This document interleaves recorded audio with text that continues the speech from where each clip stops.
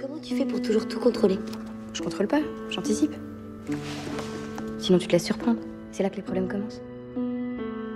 Je crois que je suis amoureuse. Je sais. Ça me fait peur. C'était pas dans tes plans, hein? Hmm. C'est des belles choses peuvent surgir de l'inconnu. Même celles qui font peur. D'ailleurs, si ça fait pas peur, on sait que ça n'existe pas.